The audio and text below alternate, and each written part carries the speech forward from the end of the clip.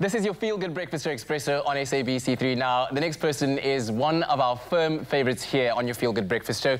Named after the Zulu queen who was King Shaka's mother, Nandi Madida's love for her African heritage has been evident throughout her career. The world stood to attention when she poured that energy into portraying Nala in the recently critically acclaimed visual album Black is King. And now she's ready to take over the world. Nandi joins us now via video call in one of her first interviews since the release of Black is King as today she releases her latest single, which is a tribute to African women's bodies called Organic. And trust us, it is a banger. We're loving it. Nandi, it is so good to see you. How are you this morning? Hello, I'm so good. You know, it's always an honor to speak to you because you're the best of the best when it comes to television. So thank you, and it's always good being on the show. I'm honored likewise. I now, told you that before, so you know, I'm, I, not, I know, I'm I know. not just doing it for TV. I know, yeah. I know, and I really do appreciate it every single time. It never gets old. Now, listen, we don't even know where to really begin congratulating you because, I mean, it's clearly not spring season, it's, it's Nandi season right now, okay? Uh, so let's take it chronologically. Uh, Black is King, right? How did this amazing opportunity to work alongside Beyonce come about for you? And what does it feel like being part of this actual standout moment in Black appreciation? Sure, it's, I mean, what a time to be alive, truly. Um, in my case, it was, there had a whole lot of actors that really wanted to be a part of this incredible story. But I know that Beyonce, um, as everyone had told me, was adamant on having me which is, sounds crazy. Wow. On Black is King. Um, you know, I was the one one of the few characters that she really like knew from the onset that she wanted me, and of course, then you know. They, they checked if obviously I was able to to do what they needed in terms of the character and playing Nala. You have to understand Nala is the role that Beyonce did the voice to for the Lion King. So this was very dear to her heart. So the fact that she chose me was um, just incredible. And she's the sweetest, most humble human being ever. And working with her and seeing her work ethic um, was something that I'll always treasure. And yeah, they're just what a beautiful time and so much has happened from there.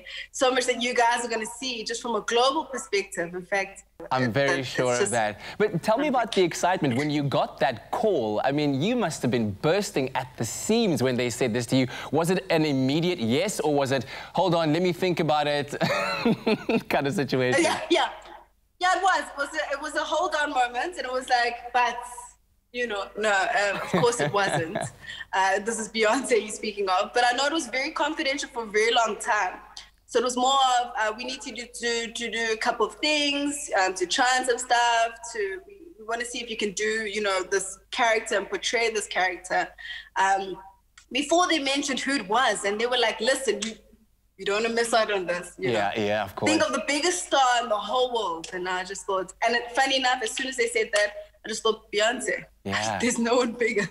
So I was like, actually, um, yeah. Tell me this, in, in your preparation um, of the character of Nala, she is a pivotal character in the story of the Lion King. You know, she helps Simba come out of that darkness that he was in to assume his rightful place as the king of Pride Rock. Um, did you discover anything new, perhaps a new appreciation for the character of Nala while you were preparing yourself for, for this uh, part of it?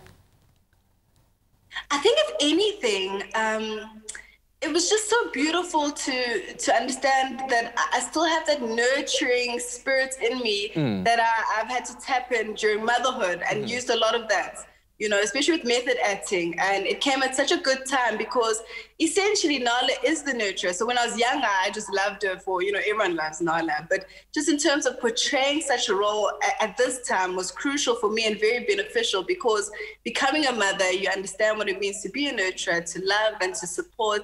Um, so that became easier playing that almost comforting role for Simba. Yeah. And so I enjoyed that whole experience. Yeah. Wonderful. Now, since that has happened, it's been about a month since Black is King was released. Have you gotten any new opportunities? What's been happening in your world since then?